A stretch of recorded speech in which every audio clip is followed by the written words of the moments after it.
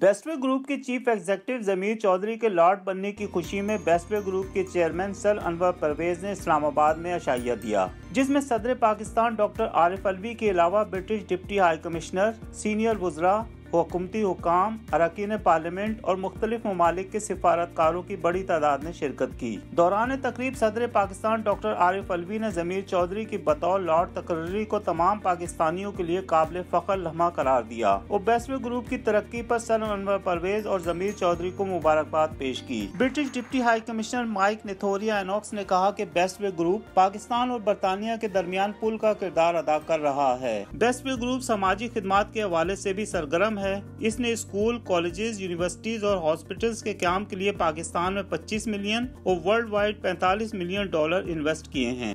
Lord ضمیر چودھری کا اس موقع پر کہنا تھا کہ اوورسیز پاکستانیوں کی ترقی کے لیے موجودہ حکومت کی کوششیں قابل ستائش ہیں اور امید ہے کہ اپنے وطن میں سرمایہ کاری کے حوالے سے اوورسیز پاکستانی ہماری تقلید کریں گے۔ انہوں نے کہا کہ بطور لارڈ تقرری میرے لیے اعزاز ہے، برطانیہ مواقع کی سرزمین ہے اور پاکستان اور برطانیہ کے درمیان تعلقات کے فروغ کے لیے اپنا کردار ادا کرتا رہوں گا۔ ضمیر چودھری کو ملکہ برطانیہ نے برطانیہ اور اوورسیز میں تجارت کے فروغ اور بطور chairman conservative friends of Pakistan شاندار خدمات سر انجام دینے پر ہاؤس آف لارڈز کا رکن نامزد کیا ہے۔